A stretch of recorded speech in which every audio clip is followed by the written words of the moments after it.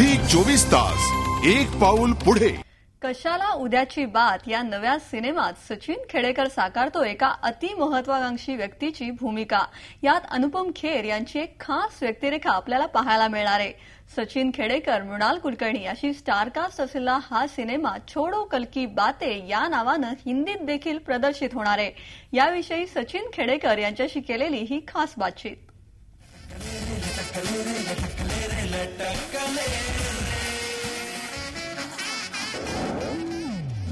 जेव्हापासून मी तुम्हाला बघितलंय तेव्हापासून माझे प्रॉब्लेम सुरू झाले. खड्ड्यात गेली साली दुनिया अटॅक अनुपम खेर आणि सचिन खेडेकर स्टारर कशाला उद्याची बात? हा चित्रपट प्रदर्शनासाठी सज्ज आहे. आता आपल्यासोबत स्वतः सचिनजी आहेत. सचिनजी अ, स्वागत आहे तुमचं स्पॉटलाईटमध्ये काय सांगाल एकूणच या चित्रपटाबद्दल? कारण पोस्टर्स पाहून तरी खूपच वेगळा चित्रपट असा जाणवतोय. अ, काय सांगाल? कशाला उद्याची बात आणि छोडोगल की बातें? म्हणजे मराठी आणि हिंदी अशा दोन्ही भाषांमध्ये बनलेला हा चित्रपट. या सिनेमामध्ये एका अशा माणसाची गोष्ट आहे जो अत्यंत अम्बिशियस ॲरोगंट कोणालाच वेळ न देणारा बायको मुलं मित्र फक्त तो त्याचं अम्बिशन असा एक माणूस.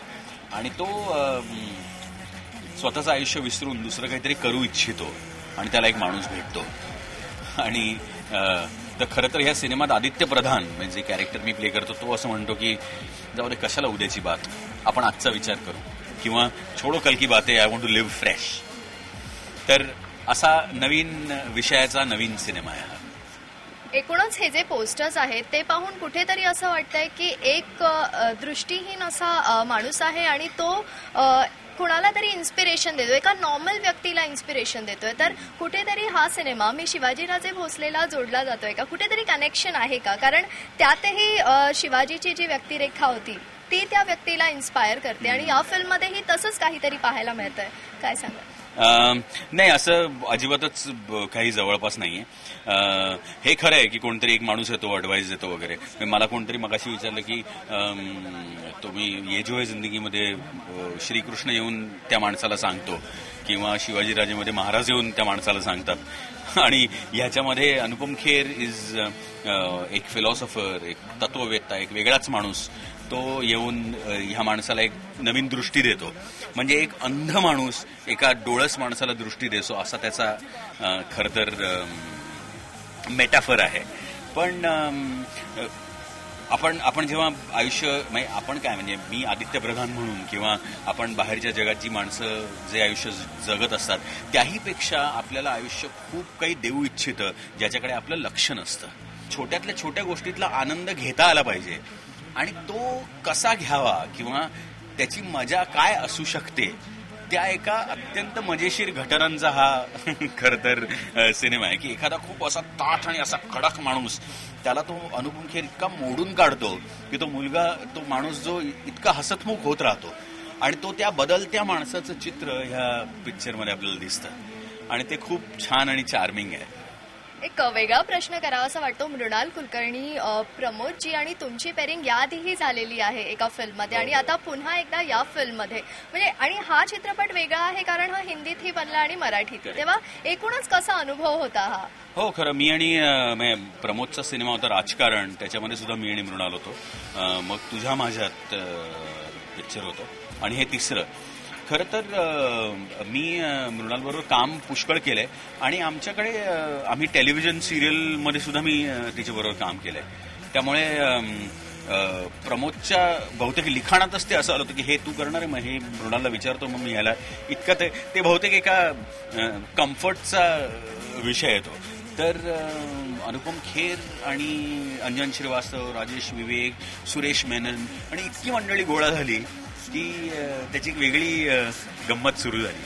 आणि मी म्हटलं तसं की विषय आपण म्हणताना की एखादा माणूस असा कडक असतो आणि मग तो बदलतो. हे इतकं साधं सांगत असताना असं उगाच वाटतं की खूप जड असेल का काय. तर ते इतक्या ते त्या प्रमोदच्या रायटिंगच्या स्किलमुळे आहे की त्यांनी ते प्रसंग इतके हलके हलके फुलवले आणि प्रसंगाच्या शेवटी अगदी ओ हे किती सोपं होतं आणि हे मला कधी रिअलाइजच झालं नाही. इतकं त्याचं छान प्रवास आहे. एकूणच तुम्ही अनेक हिंदी फिल्म्समध्ये याआधी काम केलेलं आहे आणि अगदी तुमच्या कामगिरीबद्दल काही प्रश्नच नाही पण या फिल्ममध्ये म्हणजे मराठी तर आहेच. त्यासोबत अन- अनुपम खेर या यांच्यासोबत काम करण्याचा अनुभव एकूणच कसा होता? कारण मराठी सेलेब सोबत काम करताना एक आपुलकी असते एक वेगळं वातावरण असतं. आता अनुपम खेर खूपच सिनियर आर्टिस्ट आहेत तेव्हा त्यांच्यासोबत काम करण्याचा अनुभव कसा होता? खरं अजिबातच. म्हणजे त्यांनी बहुतेक आम्हाला जास्त कम्फर्टेबल केलं होतं. म्हणजे त्यांनी आम्हाला कधी त्यांचं स्वतःचं अवडंबर जाणवू दिलं नाही. म्हणजे त्यांनी ते इतके सहजपणे वावरले आमच्यात राहिले आम्ही बसलो तिथेच बसले. त्यामुळे त्यांचा जो पहिलाच जो एक आपला भीड असते ती आम्ही पहिलीच चेपली गेली.